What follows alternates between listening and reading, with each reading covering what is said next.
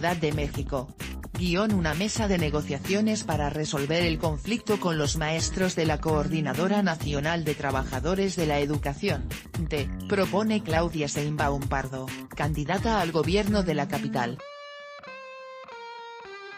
Luego de que los maestros del ACNTE se declararan en plantón desde el pasado 4 de junio y que encabezaran un enfrentamiento con policías a las afueras de la Embajada de Estados Unidos, Sheinbaum lamentó la situación de conflicto.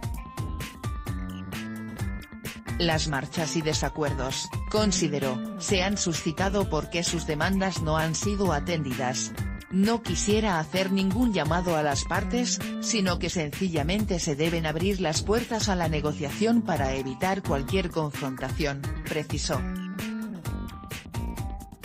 Por otra parte, la representante de la coalición Juntos Haremos Historia, señaló que José Ramón Amieva, pasará a la historia como el jefe de gobierno que no permitió que se utilizara el zócalo de la capital para él,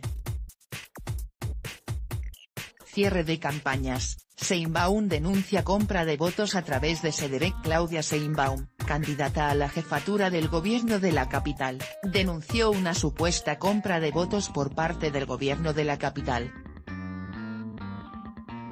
la abanderada de la coalición Juntos Haremos Historia denunció que presuntamente a través de la Secretaria de Desarrollo Rural y Equidad para las Comunidades, SEDEREC, existe una ampliación de 50 millones de pesos destinados para la compra de votos en las zonas rurales de la Ciudad de México.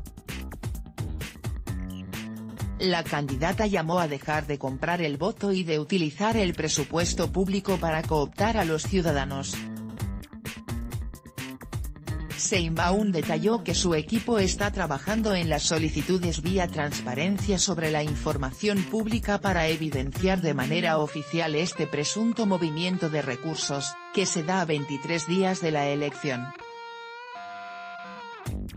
Por otra parte, en una reunión con núcleos agrarios en la delegación Xochimilco, la abanderada de Morena se comprometió a elevar los apoyos al campo dentro del presupuesto público y ofreció una inversión adicional al sistema de aguas de 7 mil millones de pesos anuales para el saneamiento del agua. Seinbaum revisará los contratos de las concesiones de verificentros en el tema de los verificentro. La aspirante al gobierno de la Ciudad de México indicó que revisará los contratos de cada concesión para evitar corrupción.